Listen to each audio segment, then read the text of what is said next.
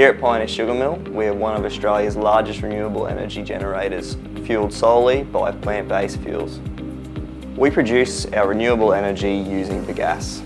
Bagasse is the fibre that's left over when we squeeze all of the juice out of the sugar cane during the sugar manufacturing process. The bagasse is full of energy, which means it burns really well and is a great fuel source for energy generation.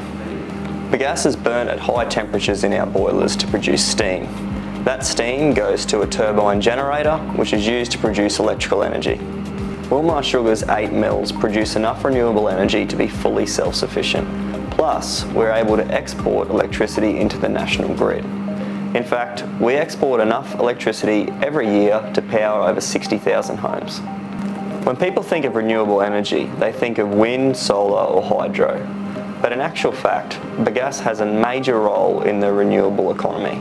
Bagasse powers around 20% of Australia's renewable energy generation. The sugar mills have been self-sufficient harnessing the energy of bagasse for nearly 150 years. Over this time, we've perfected the process, and at Wilmar Sugar, we've been exporting to the national grid for 60 years. As one of Australia's largest renewable energy generators, Wilmar is proud of our role in the bioeconomy. We are committed to continually evolving and improving as we have for generations, moving towards our target of net zero by 2050.